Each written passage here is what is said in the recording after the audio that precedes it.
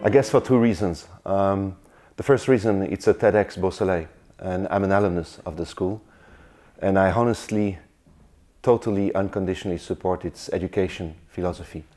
Uh, I'm also a parent. My daughter Thais is here, so it was very natural for me to come. Uh, TED is for us professionals. I'm a business consultant um, and a writer, also the mecca of, uh, of, of, uh, of, of, the learning. And uh, I would sacrifice any invitation to any university to come to TED. I really have a high respect for them.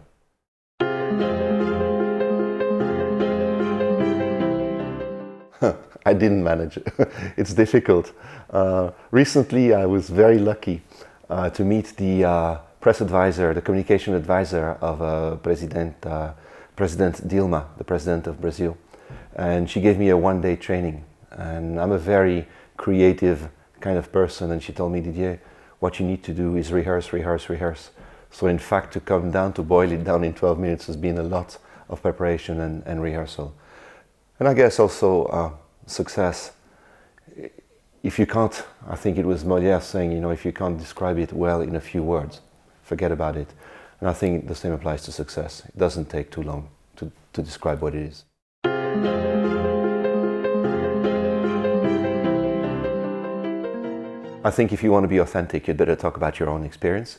But I'll also talk about um, a parallel between studying and or schools, private schools, and samba schools.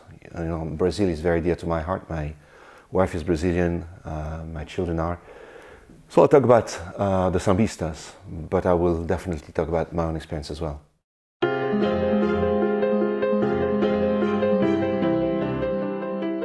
Passion is what you need to get to success. In my speech this afternoon, I'll talk about, in my view, the three components, not one word, three words. Purpose, why am I doing this? Passion, does this get me out of bed in the morning? and pleasure, because without pleasure, you can't, you can't have any success.